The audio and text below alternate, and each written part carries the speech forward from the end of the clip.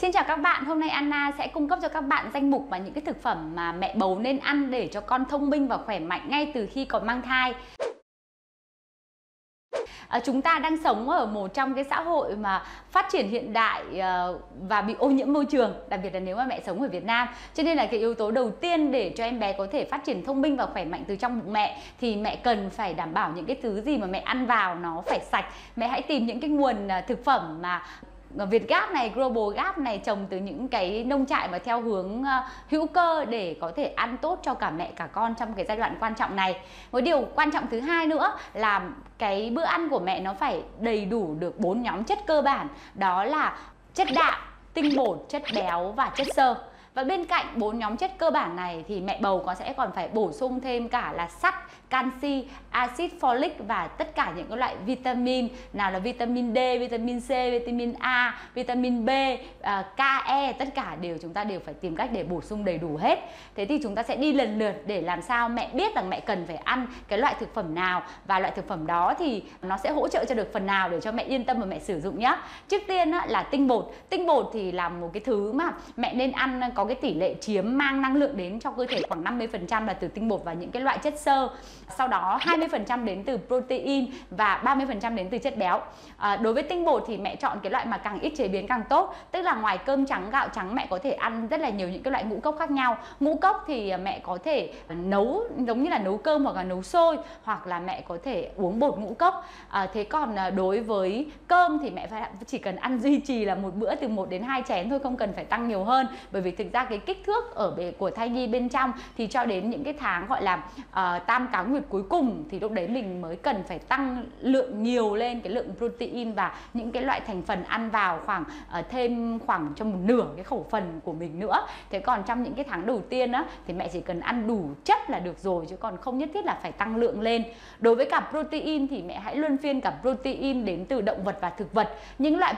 protein đến từ động vật thì mẹ biết nhiều rồi. Còn những loại nào là những loại mà có ờ, protein ở động vật thì tất cả những loại ờ, đậu như là đậu đỏ đậu đen đậu uh, xanh của chúng ta đều là những cái loại mà có rất là nhiều protein. Mẹ cũng có thể tìm thấy protein ở trong các loại rau củ như là uh, súp lơ xanh rồi cả bó xôi cải xoăn. Đây cũng là những cái loại mà chứa rất là nhiều những cái hàm lượng protein và những cái loại dưỡng chất khác nữa và mẹ có thể lựa chọn để sử dụng. Uh, bên cạnh cá trứng sữa như là chúng ta vẫn thường hay nói uh, có rất là nhiều mẹ quên mất cái phần chất béo hoặc là mình sợ mập cho nên mình ăn bị ít chất béo. Nhưng mà chất béo là một phần rất là quan trọng trong việc hình thành lên À, não bộ hệ thần kinh à, hình thành nên màng các cái tế bào và rất là nhiều những cái hợp chất quan trọng bên trong cơ thể của mẹ và của trẻ nữa đều được hình thành từ chất béo. Trong đó não bộ của chúng ta đến 60% là chất béo cho nên là mẹ hãy lựa chọn những loại chất béo tốt gồm có nhiều omega 3 và axit béo như là những loại thực à, động vật thì có cá hồi còn thực vật thì trong có nhiều trong những trái như là trái bơ những loại hạt như là hạnh nhân mắc ca ốc chó mè đen mè trắng đều là những cái loại mà có rất là nhiều omega 3 omega 6 à, và đây là những cái loại chất béo mà cơ thể chúng ta cần rất là nhiều à, đặc biệt là trong quá trình mang thai của mẹ bầu. Để mà mong muốn cho một em bé phát triển thông minh và khỏe mạnh từ trong bụng thì bên cạnh những cái nhóm chất này mẹ phải ăn đủ được axit folic. Axit folic là một trong những loại uh, axit mà giúp cho cái ống thần kinh và hệ thần kinh của trẻ phát triển được toàn diện và giảm được các cái nguy cơ mà dị tật thai nhi. Vậy những cái loại thực phẩm nào là có nhiều axit folic? Axit folic hay còn gọi là vitamin B9 có rất là nhiều ở trong nội tạng của động vật. Thế nhưng mà nội tạng của động vật thì thường hay tích tụ rất là nhiều độc tố. Đồng thời là nội tạng thì nó có quá nhiều cholesterol cho nên là Anna không khuyến khích các mẹ bầu ăn những cái món này à, mà mình có thể dùng một cái nguồn khác cũng có rất là nhiều vitamin B9, axit folic như là những cái loại rau có màu xanh đậm như là rau muống rồi rau cải à, bó xôi, cải xoăn, à, bông cải là súp lơ đó. Hoặc là cũng có thể tìm thấy ở trong những loại ngũ cốc và những loại như là mè đen, mè trắng thì mẹ có thể ăn thường xuyên những cái loại này để mình có thể bổ sung được cái axit folic cho uh, cơ thể của mẹ và đặc biệt là hỗ trợ cho con phát triển trí não để con có thể uh, phát triển toàn diện cái não bộ của mình ngay từ trong bụng mẹ. Uh, một cái yếu tố tiếp theo mà mẹ thấy rằng là bác sĩ lúc nào cũng kê đơn cho mẹ đó là sắt và canxi. Uh, trước khi mà mẹ nghĩ đến cái việc là uống cái viên sắt và uống cái viên mà bổ sung canxi đặc biệt nếu kể cả canxi mà mẹ bổ sung cái dạng ống là dạng nước đi chăng nữa nó cũng rất là khó hấp thu. Uh, có rất là nhiều người thì sẽ nghĩ rằng là uống sữa thì nó sẽ bổ sung thêm được canxi nhưng có rất nhiều nghiên cứu cho rằng là sữa, trong sữa bò nó có nhiều cholesterol và cái nồng độ canxi của nó cũng quá cao. Ờ, và cái gì mà quá cao, quá nhiều và kết hợp với cả cholesterol thì nó lại làm cho cơ thể của chúng ta khó hấp thu. Nên là mẹ có thể tìm những cái nguồn canxi và sắt ở trong những thực phẩm thiên nhiên trước đã, trước khi nghĩ đến cái việc là mình sẽ sử dụng những cái viên uống. Bởi vì khi mình sử dụng những viên uống đó thì một là nó có thêm những cái ờ, phụ phụ ờ, gọi là phụ gia của, để mà trong quá trình sản xuất này và cái thứ hai là nó làm nóng và gây cái tình trạng táo bón. Mà những cái mẹ bầu là những cái mẹ mà thường xuyên khổ sở về cái tình trạng táo bón. Vậy mình sẽ ăn những cái ờ, loại thực phẩm nào thì sẽ có nhiều uh,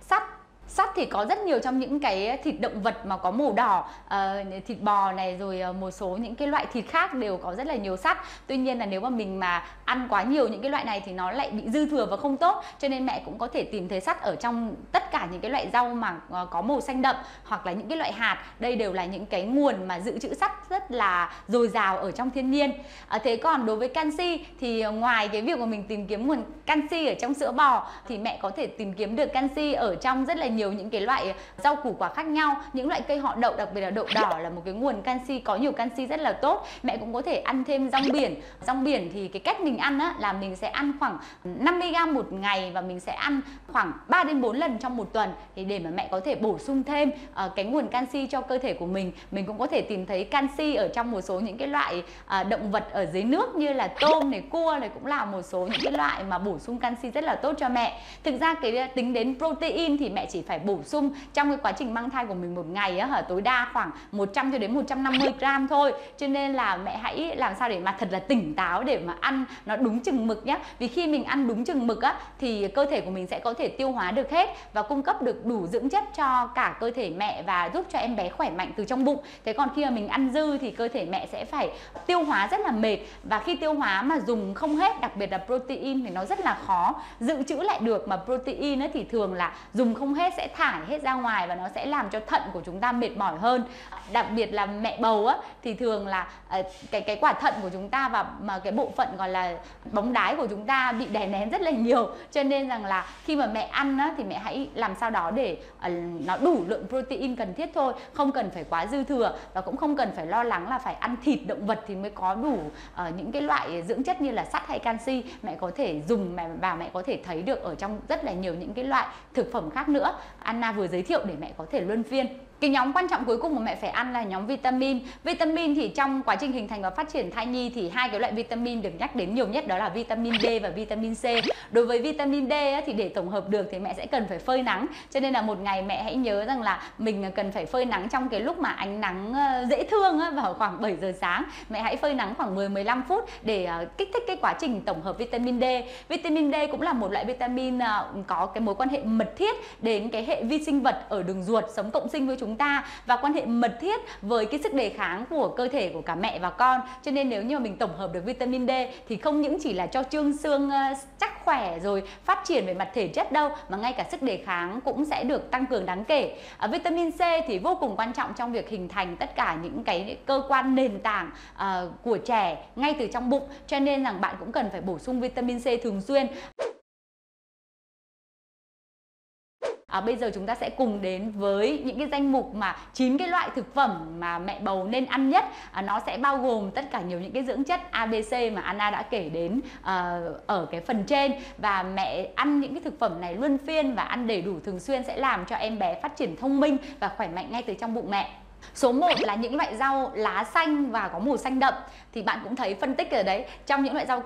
màu xanh thì nó có rất nhiều axit folic này rồi ngay cả canxi này sắt này và những cái dưỡng chất khác nhau. Nó có rất là nhiều diệp lục tố và vô cùng quan trọng cung cấp oxy được cho cơ thể của mẹ và con. Cho nên là mẹ cần phải ăn rất là nhiều những cái rau màu xanh lá. Khi mà mẹ ăn những rau màu xanh lá thì mẹ hãy nhớ như thế này ạ. À. khi mà mình nấu lên á mình nấu lên mình chế gọi là mình chế biến bằng nhiệt thì tất cả các loại vitamin nó đã bị biến tính hết. Cho nên là à, mẹ vẫn ăn nhưng nhưng mà trong dưới dạng là canh hay là rau luộc rau xào gì đó nhưng nó là để ăn để có thêm lượng chất xơ. Ngoài ra thì mẹ hãy uống thêm những loại nước ép mà mix giữa rau và một số những cái loại trái cây. À, khi cái lúc này khi mẹ làm như vậy á thì mẹ sẽ lấy được nhiều những cái dưỡng chất mà đang còn nguyên vẹn ở trong ờ, những cái loại rau thân lá này hơn là với việc là mình ờ, chỉ có ăn trong canh à, cái loại thứ hai mà mẹ cần phải ăn đó là tất cả những loại ngũ cốc và những cái loại hạt à, ngũ cốc như là đậu xanh đậu à, đỏ đậu đen những loại hạt như là hạnh nhân à, mắc ca ốc chó hạt điều à, rồi à, mè đen mè trắng là những loại mà mẹ nên ăn. Đặc biệt thì Anna khuyến khích là mẹ hãy uống sữa mè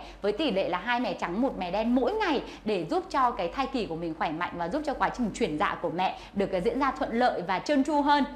Loại à, thực phẩm thứ ba mà mẹ nên ăn đó là trái nho. Trong nho có rất là nhiều sắt phốt pho những axit hữu cơ và ờ, nhóm ờ, cái chất mà chống oxy hóa nhóm caroten ờ, trong khi mà mẹ ăn những cái loại thực phẩm này thì mẹ hãy nhớ là mẹ hãy chọn nho phan rang. Ví dụ như là cái chùm nho mà Anna đang cầm trên tay này gọi là nho phan rang. Nho phan rang là loại nho mà có hạt và có cái nồng độ đường vừa phải. Còn những loại nho mà nhập khẩu của chúng ta thì thường nó có cái độ ngọt và nó không có hạt.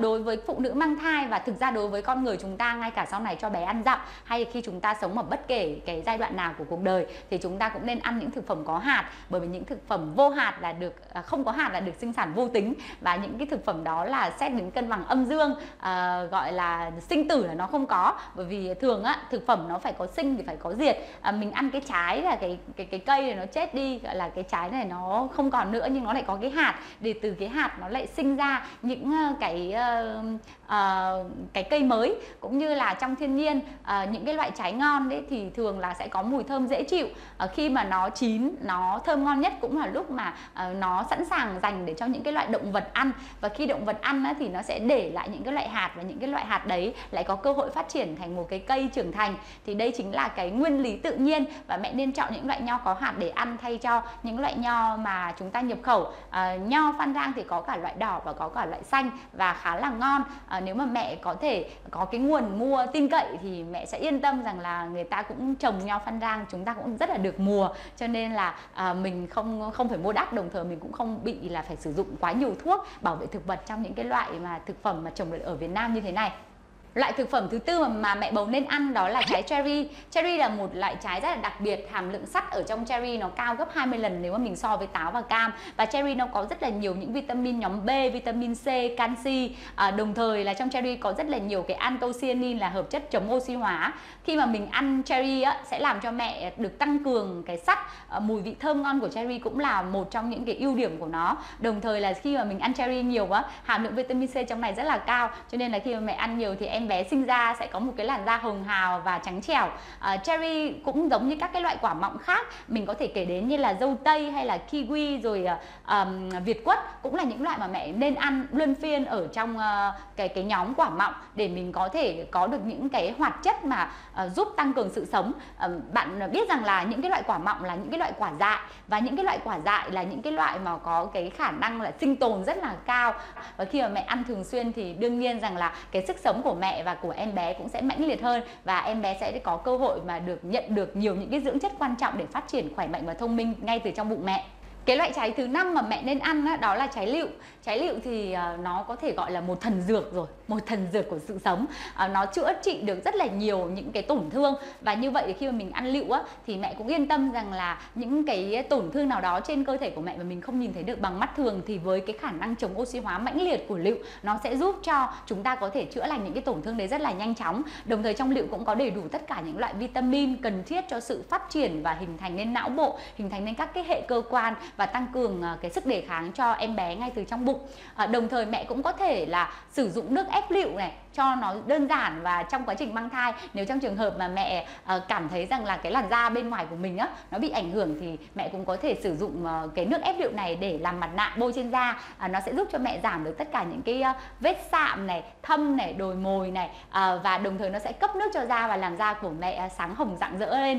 Nên đây cũng là một uh, trong những cái thần dược mà mình có thể vừa uống vừa cả xoa bên ngoài. Loại thực phẩm thứ sáu mà mẹ nên ăn đó là trái thanh long. Trái thanh long là một trong những cái loại mà có cái lượng chất xơ hòa tan rất là tốt cho nên là nó cũng sẽ giúp cho mẹ có thể tiêu hóa được tốt hơn. Đồng thời trái thanh long là một trong những trái mà có khả năng giúp cho mẹ tiêu được đàm cho nên là khi mà mẹ bầu á mình không dùng được loại các loại thuốc thì đây cũng là một trong những cái loại thực phẩm mà có thể giúp cho chúng ta có thể hỗ trợ tốt cho cái phổi của chúng ta và cái hệ hô hấp của chúng ta. Đồng thời thanh long á, trồng ở Việt Nam cho nên là bạn cũng không phải sợ là mình bị chất bảo quản hay như thế nào vì thanh long cũng rất rất là được mùa và người nông dân cũng rất là dễ trồng cái món này cái món thứ bảy mà mẹ nên ăn á thì Anna sẽ gộp lại đó là táo và bơ Tại sao lại như vậy? Thứ nhất là táo thì nó có rất là nhiều pectin, một trong những cái hoạt chất sinh học cực kỳ quý hiếm